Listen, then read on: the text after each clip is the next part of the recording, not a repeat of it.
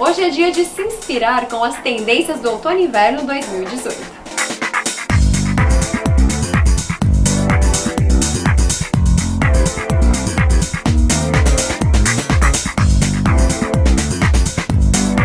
Neste vídeo vou destacar três tendências para vocês. Eu começo falando das mangas, elas continuam em evidência. Nessa coleção a gente tem vários detalhes diferenciados, como essa daqui, por exemplo, que ela fica mais apertadinha, mais ajustada no punho e depois tem essa abertura lateral. Os babados também continuam em alta, gente. Nessa manga, por exemplo, a gente tem o babado duplo, que dá todo o charme e feminilidade para a produção, né?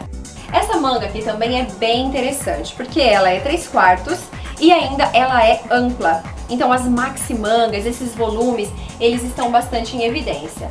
Aqui essa última blusa que nós separamos para mostrar tem a manga assimétrica e isso daqui dá bastante charme e estilo para sua produção.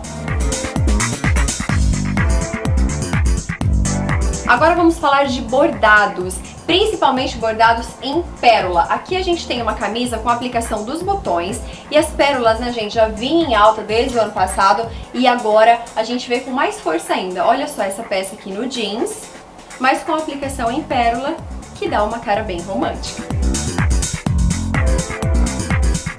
Nosso terceiro tópico de tendência são os tecidos. Inverno pede tecido mais encorpado e o neoprene, por exemplo, vem com tudo. Eu estou usando esse vestido extremamente confortável, sem contar que fica maravilhoso. A estampa ainda mais em evidência por conta desse tecido de neoprene. Mas a gente também tem nessa coleção a malha jacar, que tem bem essa cara de inverno, é quentinha e também super estilosa. O suede que vem com força total e a gente vê várias referências desse tecido na moda. E também, gente, na Titanium Jeans você vai encontrar peças como essa de malha, mas é uma malha bem mais encorpada que te dá segurança e também conforto para esse inverno.